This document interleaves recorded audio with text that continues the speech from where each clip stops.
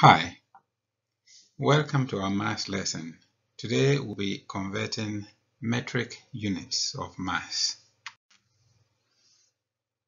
The aim of this lesson is to show you how to convert in the metric unit of mass. Another word could be weight. So my learning objective is to convert between the standard units of mass and I'm going to show you an easy trick. For our vocabulary, we have got the complete metric unit conversion chart. You can see here we've got the prefixes milli, centi, deci, and then we have got this has no prefix. But after the prefix, we have the deca, the hecto, and then the kilo.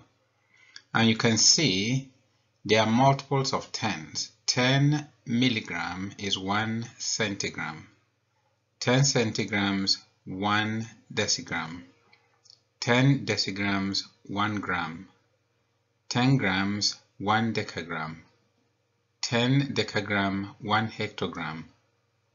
10 hectograms, 1 kilogram.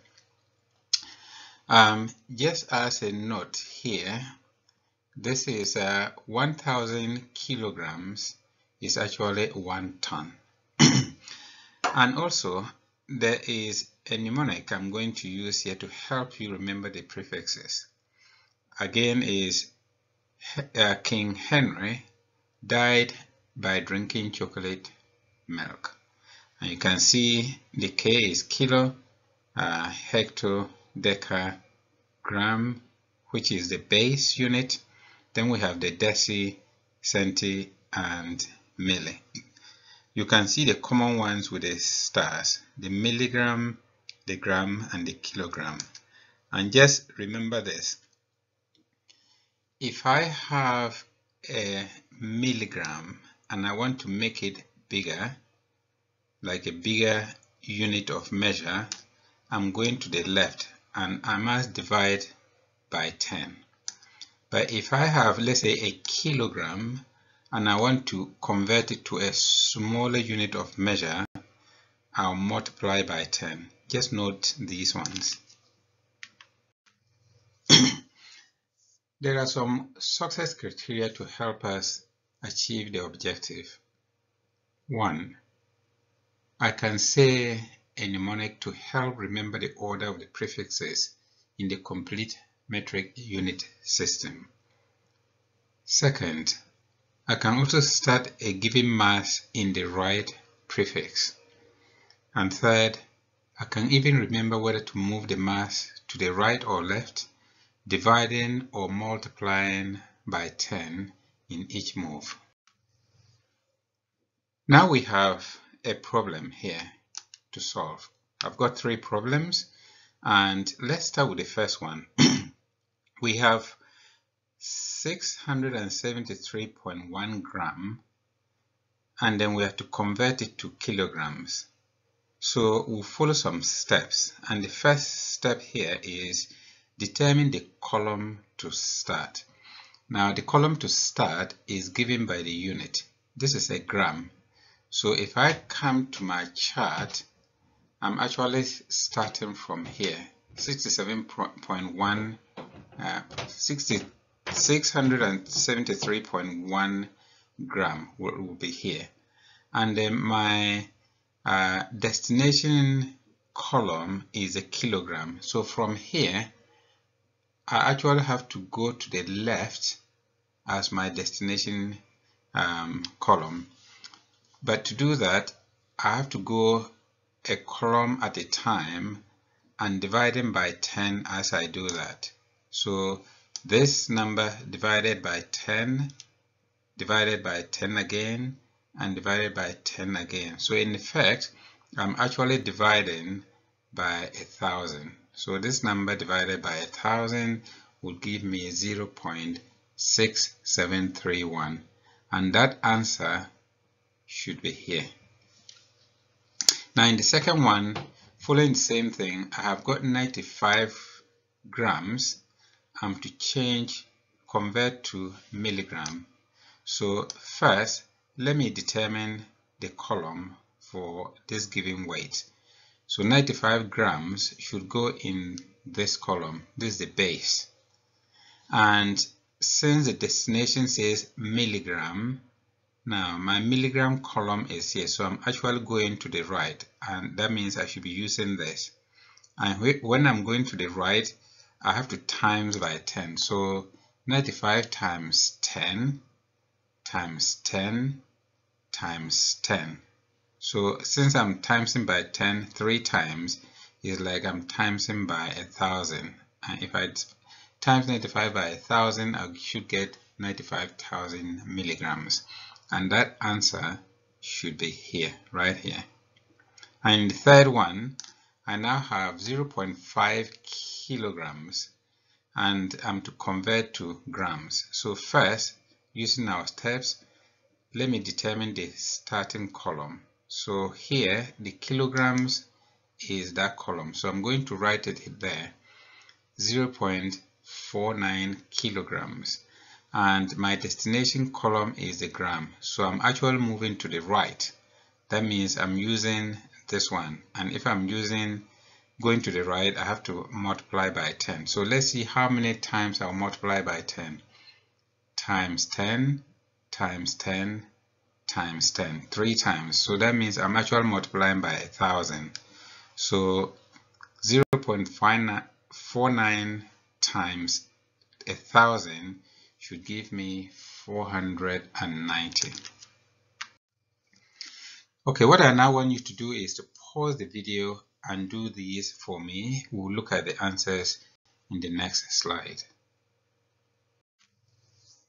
how did you do now, in the questions, the first question is here. Now you have to convert 8 kilograms to grams. So as our first step, we determine the column to start. So it should be 8 kilograms should be in this column. And my destination uh, column is the grams. So that should be here. And if I'm going to the right, I multiply by 10. So from here, times 10 times 10 times 10. So actually, I should be timesing by a thousand. So 8 times a thousand should give me 8,000 grams. And that answer should be right here. Now let's look at the second one. 3 kilograms to milligrams. So let's determine our column to start. Now the kilograms column is also here, but I have my destination column is the milligram. Milligram. Milligram is right here. So let's see how many times I have to times by 10.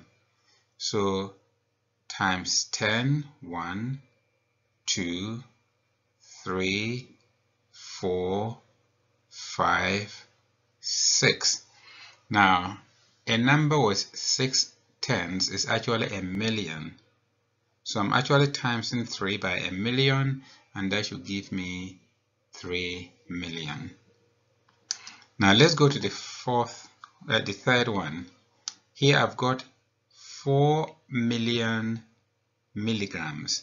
So let's see, my first step is to determine the column to start. Since it's written milligram, I have to start with the milligrams column, which is here. And my destination says kilograms. So from the milligram here, I'm going all the way to there. So I'm going to the left. And I'm, when I'm going to the left, I have to divide by 10 each time. So from 4 million I'll divide by 10, by 10, by 10, by 10, by 10, and by 10. Actually, I'm dividing by a million. So 4 million divided by a million should give me 4 kilograms. And that number, that answer should be right here. So this should be 4. And in our last one, we have no kilogram but 800 grams so in fact um, when they say no kilogram actually it should have been here but there's nothing okay and then I'm to add 800 grams and 800 grams is here. So actually it should be 800 grams. But then that's my that's not the only destination. From 800 grams I have to convert it to grams now. So from here this is my grams column and this is my kilograms column. So I'm actually going to the left. Let's see how many times to the left one two three. So I'm actually dividing this number by three. Okay sorry I'm dividing 800 by a thousand. And 800 divided by a thousand should give me 0.8 kilograms. And that answer should be here. What I now want you to do is to pause the video and go and do some work.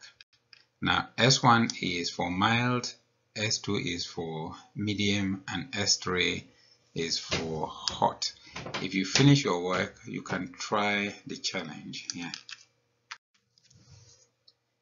Now just call a guardian or a sibling, that's if they are busy, and show them how you worked out some of your work, some of your questions. Just as a reflection, now can you say a mnemonic to help remember the order of the prefixes in the complete metric unit system? Can you also start a given mass in the right prefix? Can you determine whether to move the mass to the left or right? dividing or multiplying by 10 in each move. If you can do all that, well done. You have achieved the objective.